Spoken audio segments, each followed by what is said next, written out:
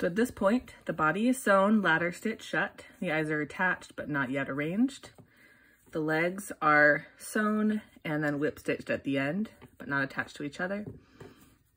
And we're just kind of in three distinct pieces at this point. So if you want to use a glue gun instead of stitching, I recommend the dots need to go up for the eyes. Hold it up kind of where you want it.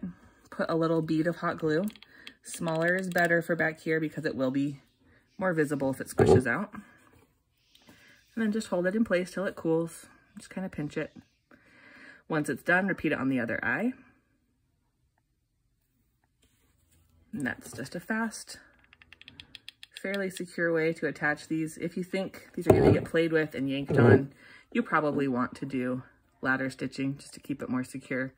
But if it's just a decoration or if it's going to be for an adult, you should be fine to just hot glue it.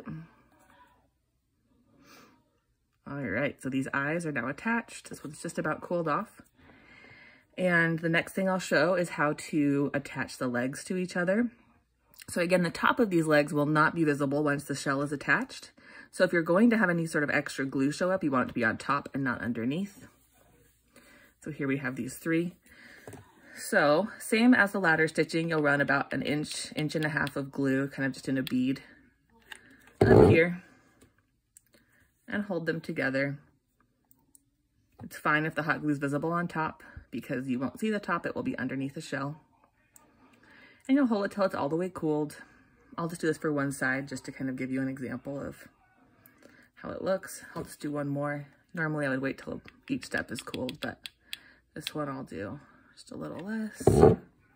And again, I'm keeping it all on the top because underneath is what you will see if you hold the shell up. So up here I'll be covered. Don't have to worry about it too much.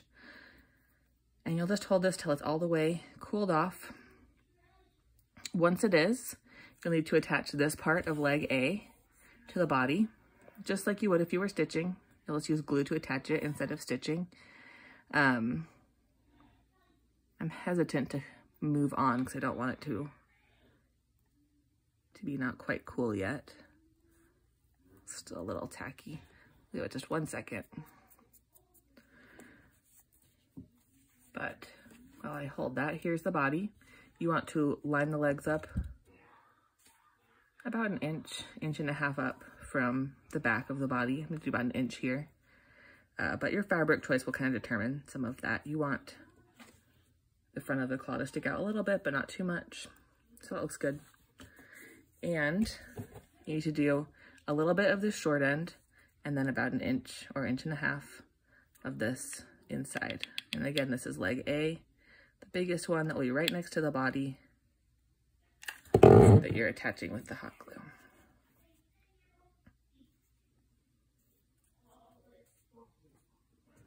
And we'll just hold that in place. So that is how these legs and eye stalks all get attached. And you'll repeat that with the other set of legs. Um, I'm not going to do that for this video because it's the same process, just a mirror image, as you can see with these legs right here. So leg A again will be closest to the body and you'll have this cute little guy. Um, once this is all the way attached, as you can see, it's still kind of pulling away, so I can't let go quite yet.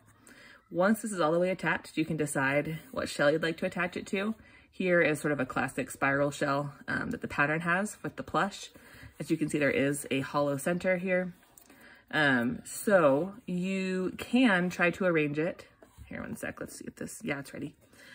You can try to arrange it so that the body kind of fills up this hole if that bothers you. Or um, you could perch it more on the edge. And it really depends on how you like the top of it to look. So I recommend kind of playing around with it. I like the spiral of the shell to be kind of over the body or over one of the legs. And once you like how it looks, pin it in place. Put one pin here, one pin on the back. As you can see here, this doesn't fully fill the hole, but it does overlap it. So pin there. And then you can stitch it or lift up this little bit, put some hot glue right on the top, hold it in place. Once that is dry, lift up this part, add a little bead of glue, hold it down until it's all the way dry. And then your, your uh, crab will be attached. I have another option here I'm going to use for this one, which is a real conch shell. And you could just tuck it inside, but if you want to glue it, again, just kind of glue for here, kind of on the top, press it into place until it's secure, and then you're good to go. So those are just some ways to use hot glue instead of stitching if that appeals to you. And as you can see here, this uh, straight part did come loose because I was fiddling with it while it was cooling. So I will need to reattach that.